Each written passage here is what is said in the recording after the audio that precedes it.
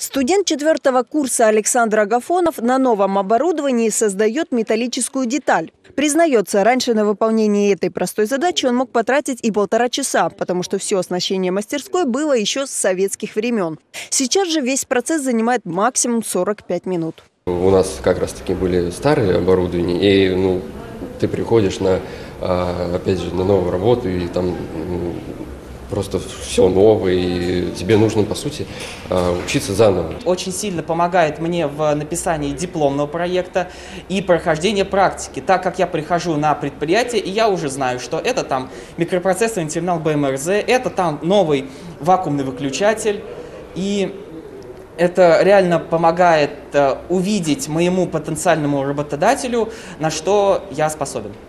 Электроника, производство металлоконструкций, сантехника и отопление, обслуживание и ремонт оборудования релейной защиты и автоматики, интеллектуальные системы учета электроэнергии.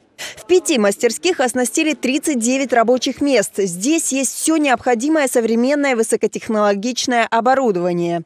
На обустройство кабинетов и закупку всего необходимого для практического обучения потратили около 60 миллионов рублей из федерального и областного бюджетов по федеральному проекту «Молодые профессионалы» национального проекта «Образование». Эти мастерские в своем оснащении создадут совершенно новый драйвер подготовки специалистов. Оборудование было старое, практически э, не менялось э, с 80-х годов, поэтому очень сложно было ориентировать на современные высокотехнологичные производства, которые уже пришли в практику, имея старое оборудование. Поэтому, конечно, грант сегодня помогает очень серьезно изменить материально-техническую базу, смотреть вот именно в перспективу и обеспечивать э, освоение компетенций, с которыми они сразу, выходя на работу, будут встречаться. Все оборудование соответствует всем международным стандартам и требованиям Союза World Skills. Теперь в современных лабораториях Самарского энергетического колледжа будут проходить соревнования World Skills.